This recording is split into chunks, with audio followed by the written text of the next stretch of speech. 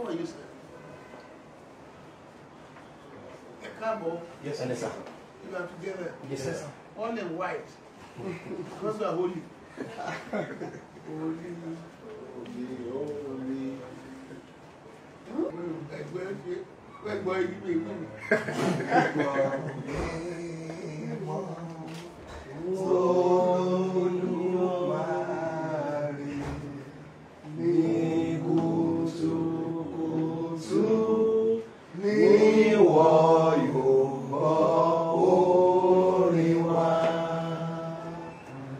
Pàdé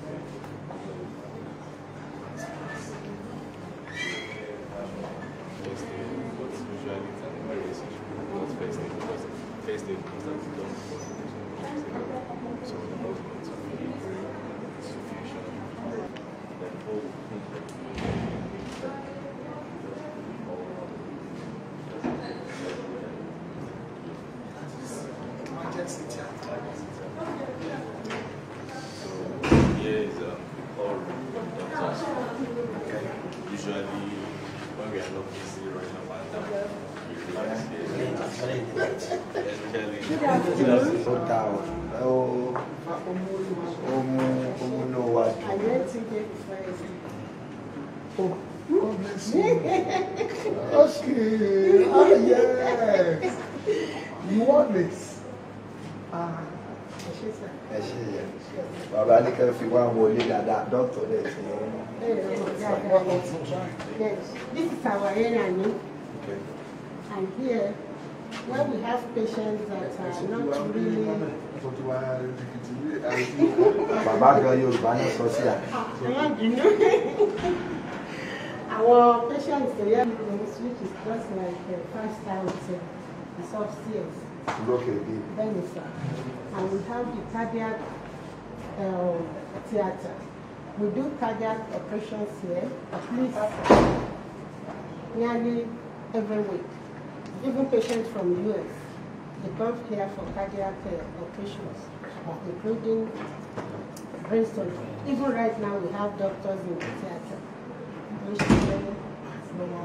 And we have the MRI, CT scan, like today now, about five of them came from my church, Akure, for MRI. Kí ni iṣẹ́ ẹ máa máa ìyẹn ló fi ń gbogbo orí láti sàlẹ̀ nǹkan tó ń ṣe ẹran ara nǹkan tó ń ṣe egun every garden thing wọ́n máa rí. So, wọ́n wò bí onítọ̀hún yẹn ṣe rí láti mú ni àtọpọlọ àti bóun àrùn àti ni ẹ̀. and when we are doing operation á dẹ̀ máa wo nǹkan tó ń ṣe. The patient tó lè má sùn á máa wò. yes. A rí fúnra ẹ̀. á máa wò. Tó bá yẹ pé àpò lórun tó yẹ pé general anesthetics. Hmm. so náà máa wò pé ibi tí nǹkan ti mú even the family as well, a níbi tá à ń kó wọn sí. àwọn náà máa wọ pé wọn máa wọ ojúṣe bàbá wa rèé. bẹ́ẹ̀ni. tẹ́lẹ̀ lọ bá bọ̀ tẹ́lẹ̀ bá bọ̀.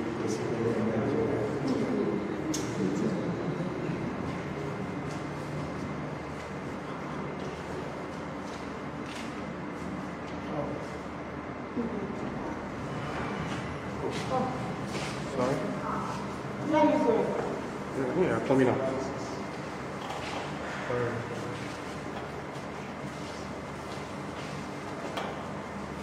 Mama. This one. Oh, my leg is straight, my thigh, told you. It started yesterday. I went for x-ray. I saw the I'll come and see you. I'll come back and see you.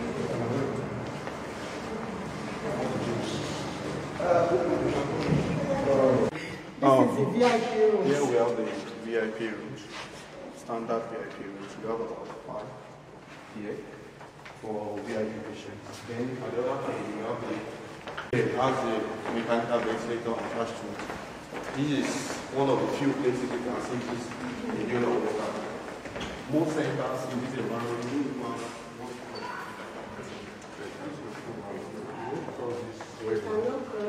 Okay, okay, yes. We can come in and see if we'll be able to open.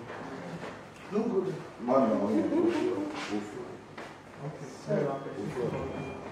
We treat those patients, critically ill patients, àwọn la máa ń intensive care units. So we don't allow people to go beyond this place. Yes, yes. And the other benefits of ICU is that at least you have almost a nurse to a patient. Yes. One, you have the mechanical ventilator, just like I mentioned earlier, that can actually um, take up the respiratory function in the, in the individual.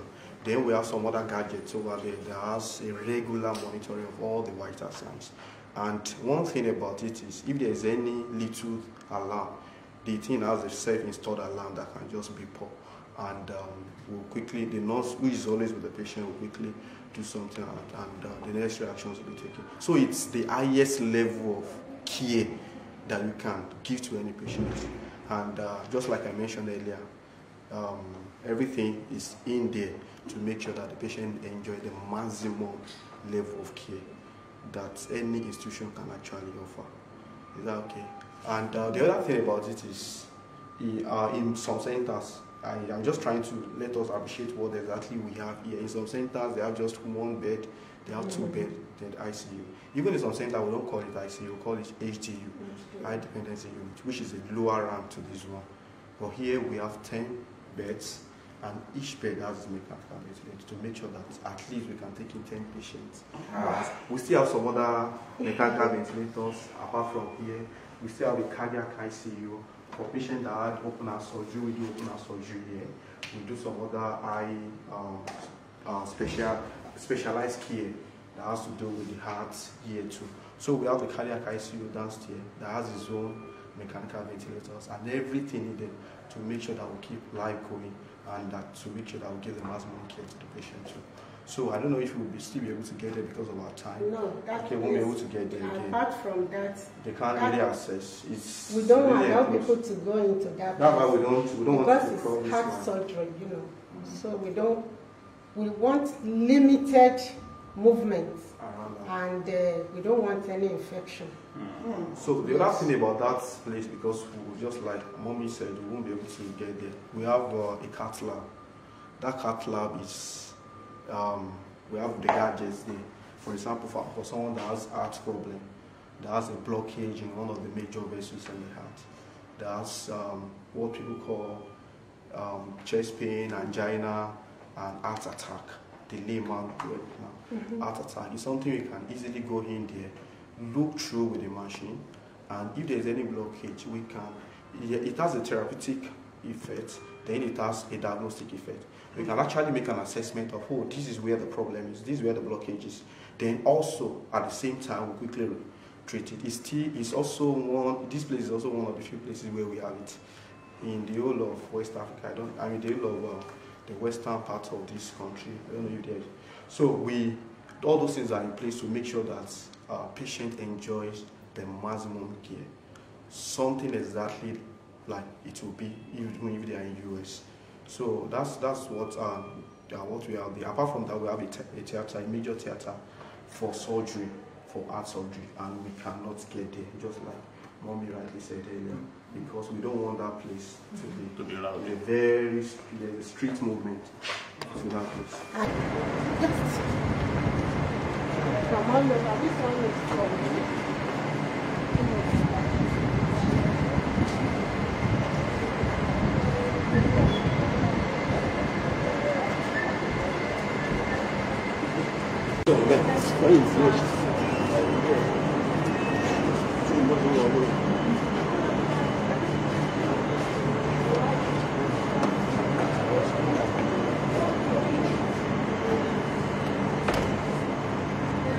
Where the rest of that scan is done. And she will go ahead with that one. Okay, good afternoon. So this is for breast exam. People that have lumps, check if they have um, breast cancer. So this is mammography. Mammography. Yes. Then this is the MRI. This is magnet. this is MRI, magnetic resonance imaging. So it, uh, it has a, a twin brother or twin sister, I would call it, a CT, but this one is superior to that one because it has some advantages than that one.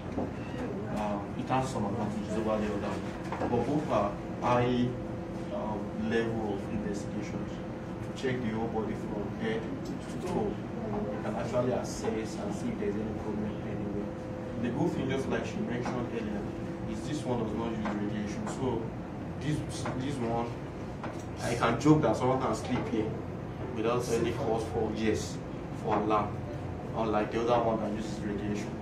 So in a way, the cost of this one will be a little bit, a little bit more than the other one, but both are very high level radiation. That's So this and one is better. this one is for some areas. This one Yeah, is better. depending For, on where you are looking at. so for some areas, the other one is better. Now the other thing about this is this particular machine is it is 1.5 Tesla. The machine comes in grades, and uh, 1.5 Tesla is one of the latest that they are using. Of course, we have some like 3 Tesla, 5 Tesla. 5 Tesla they don't use for human being, they use for animal study. So no human being can. And um, 5, 3 Teslas, very few hospitals in the US. So this is one of the latest in Africa.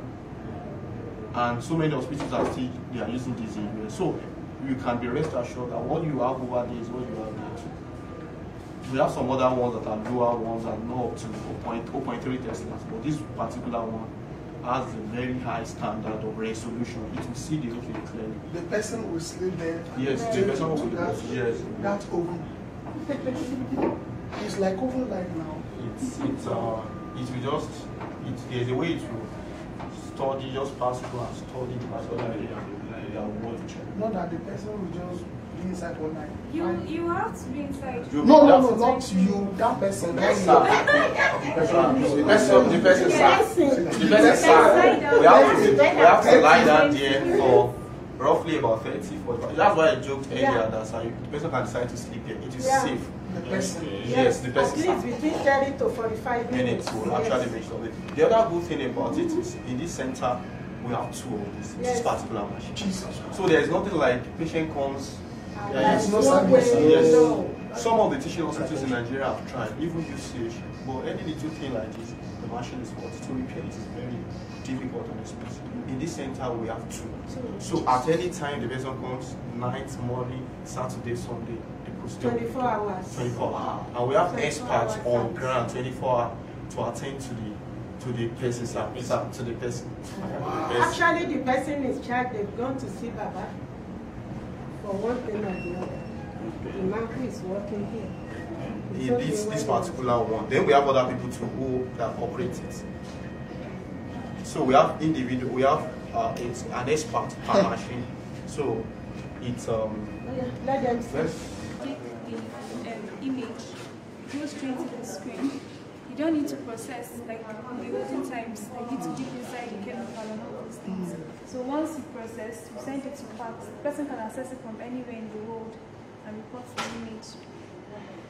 So anything you detect can be accessed. That person. Yes, the image we produce from here can be accessed. Once it's in PACS, it can be accessed by the anywhere in the world. Anywhere. In the world, yes. Bravo. That's nice.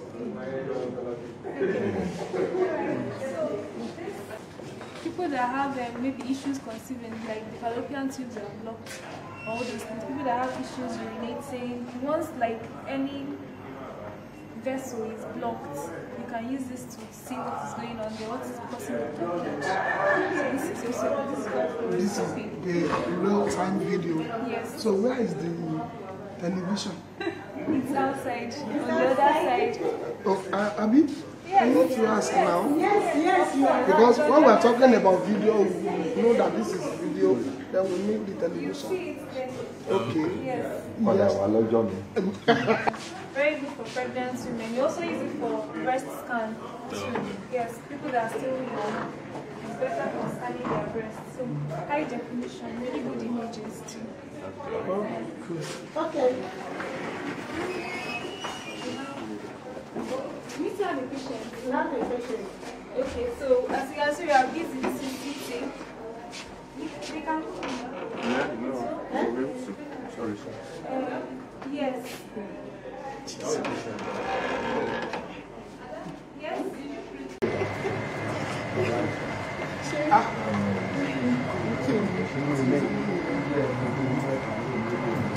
ahead. Go ahead. This is the reception you're welcome, sir. Thank you. So this is the um, the telephony, so where we take the samples and receive samples from the ward. We just uh, receive it through the carrier for the working patients. So inside the laboratory. If you don't mind, if you can quickly explain the work of this tool for us. Okay. So this is one of our camera. So we want to send it to the A and E, the accident and emergency. So we just and then the code is one one four. Then they will receive it at the A and E. Wọ́ọ̀dù tẹ kọ́kọ́ lọ lẹ́ẹ̀kan. You don't have to send I'll anybody. send to Táwọn I'll bá call them to ìwé return it. I'll call them to return it. Okay. So they will receive it at the So we don't send anybody. So the uh, the patient's relative, re- relative doesn't need to come here for to bring the samples. Yeah. Inú ìyẹn kàn máa. Ṣó ti ń lọ Ó bẹ́ẹ̀? ti ń lọ bẹ́ẹ̀ yẹn. Kí ní gbùngbùn tán sẹ́yìn? Bẹ́ẹ̀ ni. Màá fi hàn yín tàtà bá ń lọ. Ibi tó gbà gbogbo wọ́ọ̀dù ló dẹ̀ wà. And oxygen everywhere in the whole hospital ni oxygen wà. You don't have to lift a cylinder or whatever. Just press. Bẹ́ẹ̀ olúkálukú ni oxygen ti máa jáde. Hello, my dear. Nice to meet you. Sorry, ma, quickly. How are you? Fine, thank you. Yeah. Yeah, yeah, yeah, yeah, yeah. Yeah. Okay, so you're welcome to Alabama System Hospital. Thank you. So this, uh, we have three major laboratories here. Um, whenever you come to the hospital, basically what we do here is to find out why you are sick. Okay, from the laboratory's perspective. So we have three major laboratories where we do this. So here is the hematology laboratory. Basically, we want to know whether you have enough blood or not enough.